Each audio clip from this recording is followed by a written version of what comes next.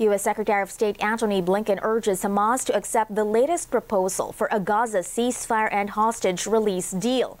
This following what Blinken calls a very constructive meeting with Israeli Prime Minister Benjamin Netanyahu. The negotiations are expected to resume in Qatar this week after being paused last week without a breakthrough. The, the bridging proposal was to try to close some gaps uh, or to clarify different parts of this agreement that needed clarification. Now, what the challenge, the challenge is, besides Hamas agreeing to the bridging proposal, is to make sure that there are clear understandings on um, how the uh, different parties are going to make good on their commitments. Despite optimism from the U.S. and Netanyahu's office describing the meeting as positive, both Israel and Hamas have signaled any deal will be difficult. Still in Chicago, pro Palestinian delegates are hoping to make their voices heard during the Democratic National Convention. They want the Biden administration to stop supporting Israel's war in Gaza. The delegates are also seeking changes in the Democratic platform as they plan to press for an arms embargo to Israel. I encourage people to protest because it needs to be made clear that this uh, genocide that has been happening that is in month 10 is not acceptable. And if those within the party cannot make it clear to the administration, then those in the street need, need to make it clear. And what's also ironic is that in 1968 when they had the Democratic National Committee in Chicago. It was so bad it took the party over a decade to recover from it. And I think our democracy is so important that we can't allow for this situation in Gaza to, to prevent, uh, to, to, basically allow um, Donald Trump to waltz his way back into the White House. The Israel Hamas war has become a major election issue, with critics saying the Biden administration is not doing enough to stop the carnage in Gaza. Now, Russia releases videos of civilians evacuated from the Kursk region. The Russian Ministry of Emergency says many in the latest group eva of evacuees are elderly and individuals with limited mobility. The ministry adds 174 temporary accommodation centers have been set up in 24 Russian regions where over 10,000 have sought shelter. Russian officials have said nearly 200,000 people were being evacuated from border regions with Ukraine as Kyiv's forces continue their advance following the biggest invasion of Russia since World War II. Over now to the Republican side, despite the endorsement of the CEO of one of the world's largest electric vehicle manufacturers, Donald Trump is still not a fan of the incentives for the industry. Trump says if elected, he would consider ending the $7,500 tax credit for EV purchases. Trump adds he would rescind Biden administration rules that will prod lawmakers or automakers to build more EVs and plug-in hybrids to meet stricter emission standards. But he says he would consider tapping Tesla CEO Elon Musk for a cabinet or advisory role.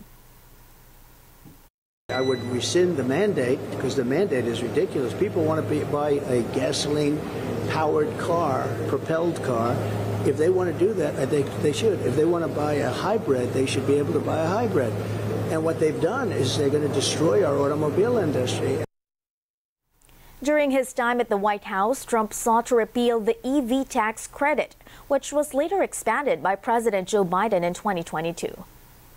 The Democratic National Convention kicks off in Chicago. ABS-CBN's North America Bureau is keeping tabs on the developments there. Our bureau chief, TJ Manotoc, filed this report. Good morning to our friends at the Rundown. Here are the top stories making the headlines in the North American region. More than 4,000 delegates have gathered in Chicago for the Democratic National Convention this week, where they will recognize Vice President Kamala Harris as the party's presidential nominee. Ahead of the DNC, Philams joined Democratic leaders in a send-off party in New York as they pledged to work together for a historic win in November. Are you ready for the first woman president of the United States of America? The excitement to send the first black and Asian woman president to the White House is off the charts for New York Democrats. Ahead of the National Convention in Chicago this week, officials and members of the New York Dems recently held a campaign kickoff rally in Harlem. New York City Mayor Eric Adams told the room full of Democratic delegates and attendees to the Chicago DNC that this historic win for the United States can only happen if they all turn out the vote for the Harris Walz ticket in November. You tell them one thing make sure you vote. Make sure you vote. make sure you vote. These Filipino American voters are fired up for the DNC. This is my first time to attend the convention, and I'm very happy and ecstatic to really experience what it is to be in the convention and be part of it. We will be in focus groups and be able to express our ideas and our solutions to the ever growing needs, especially of the Asian American community. It's very important to be there to experience history unfold in our in our eyes. The first uh, South Asian and women immigrant running for president. We want to see the, the glass ceiling break in front of our very eyes. On Monday's opening night, President Joe Biden is expected to speak and make a strong case to elect Harris. Former Presidents Barack Obama and Bill Clinton and the first woman presidential nominee Hillary Clinton are among the top Democrats expected to speak on different nights. Democratic VP nominee and Minnesota Governor Tim Walz will give his address on Wednesday night, while Harris will close out the convention with her acceptance speech on Thursday night. Meanwhile, Gen Z Democratic leaders are making their voices heard at the DNC and at the polls. Gen Z politicians from across the United States flocked to Chicago to show support for the Harris Walz ticket. I think that the energy we're seeing out of this campaign right now, I think when we flip North Carolina blue in November, we are going to see the power that young people have in this election. Um, don't count out the young people in your life if you just talk to them. Just being able to represent my age demographic is amazing. It's a huge honor. Um, and I really am, feel lucky to be able to bring that perspective into this space because it's something that's not commonly found here. A recent New York Times Siena College poll shows Kamala Harris leading former President Donald Trump by nearly 20 points among registered voters under 30.